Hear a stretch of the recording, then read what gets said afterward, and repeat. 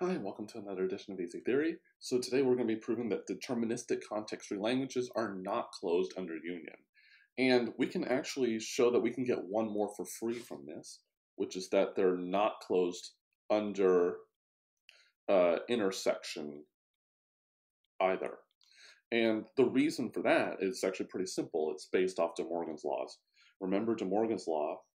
So De Morgan, what a guy uh, Augustus de Morgan. Remember his name.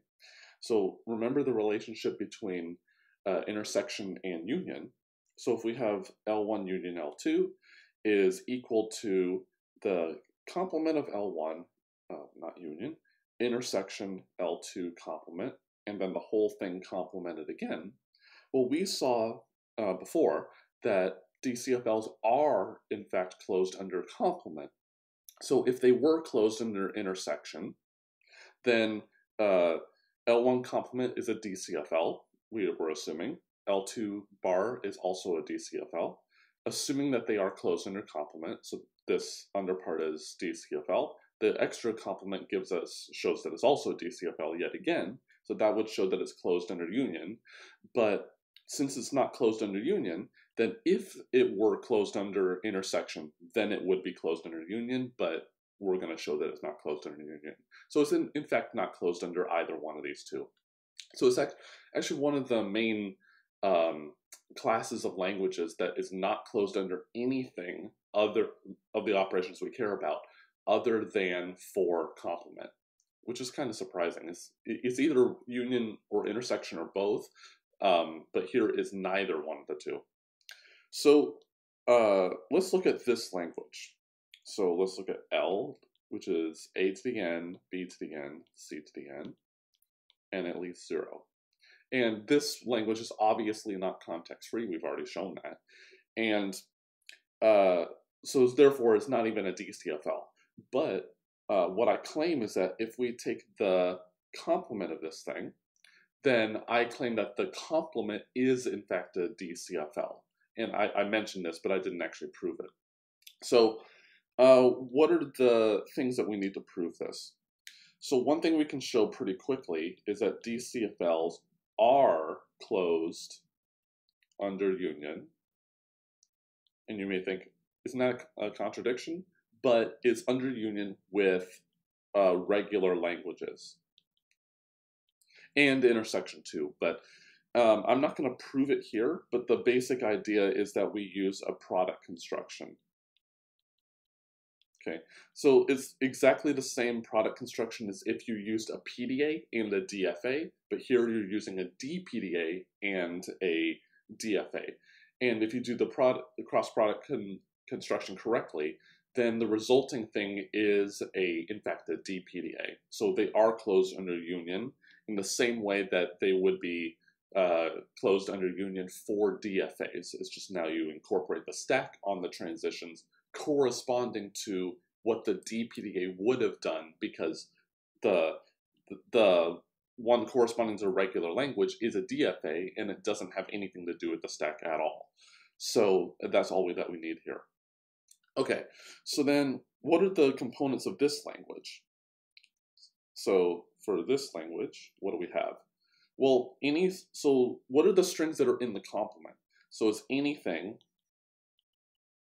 uh, with a BA in the string, uh, CB in the string, or uh, CA in the string. So if it has any one of those three substrings, then it must be in the complement language because the original language had A's followed by B's followed by C's. Um, if it's in this language, which is um, so if it's not one of those three, it must have A's followed by B's followed by C's, but the counts are wrong. So if we have uh, A to the I, B to the uh, J, oops, C to the K, where uh, I is not equal to J, then it must be in the complement. If we have very similar language, so exactly the same exponents, except now that we have i is not equal to uh, k at the very end. The, the third variable here could be anything that you want it to be. Um, and the third one is where we have the last two exponents not being the same. So j is not equal to k.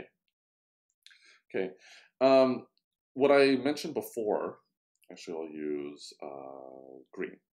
So this language right here, any string that has one of those three substrings, this is regular, and you can uh, represent it by a regex pretty quickly. So like sigma star BA, sigma star union, and then the same thing for the other two uh, substrings.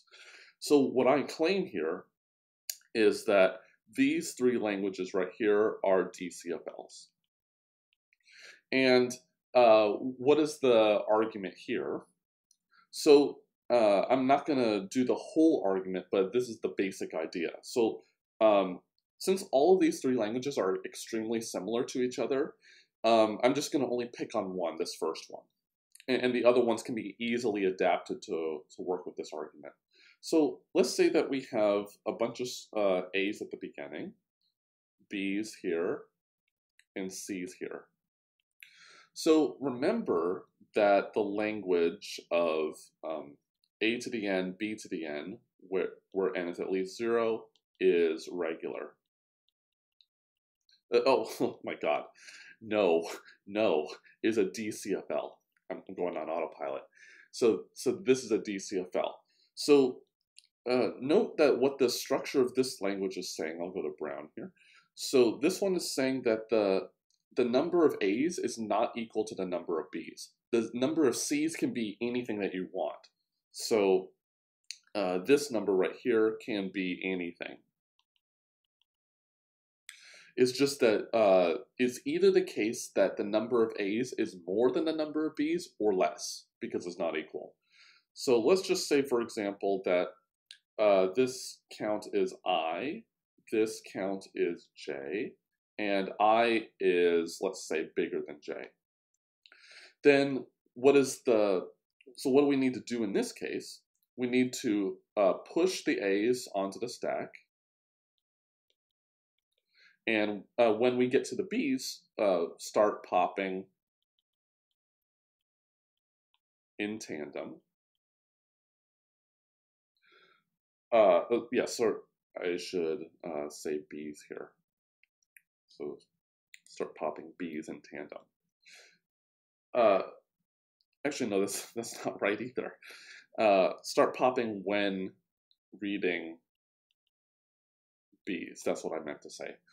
So uh, if that's the case, then what will happen is we'll run out of B's onto the stack.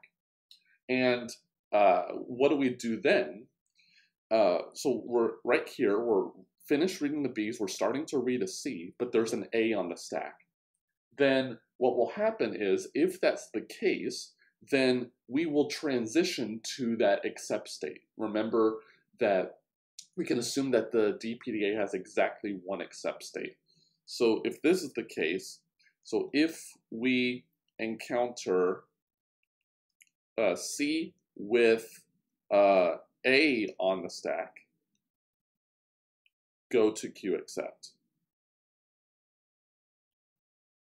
Okay, um, but because that would say that the number of A's is bigger than the number of B's. Now let's suppose that we have where uh, I is less than J.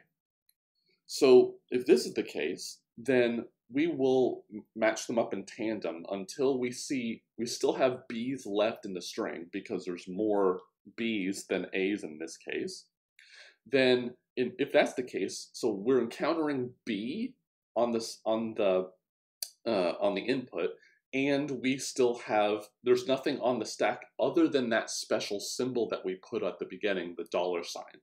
So here, uh, if we find a B with a dollar sign on the stack, uh, then go to Q accept. Okay, and the only other possible case is when they're equal to each other, in which point you'll find C with a dollar sign on the stack. So if we encounter uh, C with the dollar sign on the stack, then go to Q reject. So remember we had that one a dead state where we just read the rest of the input when we showed the closed under complement part. Um, and we had two states, Q accept, Q reject. And these, since there's only two characters on the stack, which are whatever you push on when you're uh, reading the A part, so let's just say we're pushing A's, and the dollar sign, then these two cases are every possible thing that can happen when you encounter a C, which makes it deterministic. And, and this right here, uh, we popped uh, A's when we were reading the B's, or whatever you pushed before. And in this case, we have B with dollar sign, which is the only other possible character, and so therefore it's deterministic there too. Um, and then for the other cases, well, what if we see an A over here, or if we see a B or C over here, we can add transitions like we've done before that go to Q reject, because in this case, it has to be A's followed by B's followed by C's. And in fact, that's all that you actually need to show for this language. Now, I'll leave you to actually do this for the other languages, um, but that's all that we need to show for this language. The other two are extremely similar. Okay, so all of these are DCFLs, I claim, and so therefore, uh, this whole mess right here, if they're closed under union, this whole thing would be a DCFL, but that's not possible because uh, that would imply that this language without the complement is a DCFL, but that's not possible. So that actually tells us something interesting that we, one of these three or more is, uh, and when you do the union of the two, sorry, if you pick two of these, at least one of the two pairs is not a DCFL. Uh, because if if every single pair was a DCFL, then the whole thing would be a DCFL uh, too, except for maybe the unions with the third one might not be a DCFL. So the point is that um, at some point when you're unioning these, we'll end up with a language that's not a DCFL. And we don't know eh, right now, at least from this proof, which one that is. One of them must be when you union the two, but we have no idea which of the pairs would cause it to be not a DCFL, which is pretty interesting. So I would recommend you put into the comments, or at least think about, uh, is it the case that we take these two and it's not a DCFL, or this pair, or this pair, or maybe when we do the union, it is a DCFL, but when this union, you union it with this third one, then it's not a DCFL. So one at one path along the way, at some point, you must uh, end up with a language that's not a DCFL. Because if you didn't, then if you had a DCFL and you union the regular languages, then you would end up with a DCFL. So one of some something goes wrong right here, so to speak. Okay, so that's all that I wanted to show here. Uh, thank you for watching. Uh, if you want to support the channel, you can like and subscribe to the channel. As always, there are many other links in the channel if you want to support the channel further. I'm doing one-on-one -on -one tutoring right now, so if you want to schedule something, contact me. And as always, I'll see you next time.